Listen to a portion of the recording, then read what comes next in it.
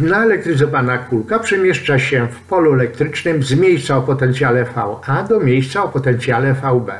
Ponieważ VA jest większe od VB, to natężenie pola elektrycznego, które zawsze jest skierowane od potencjału wyższego do potencjału niższego, jest zwrócone na rysunku w stronę prawą, w stronę malejącego potencjału. Zatem na całej drodze od A do B kulka podlega działaniu siły elektrycznej zgodnej z kierunkiem ruchu.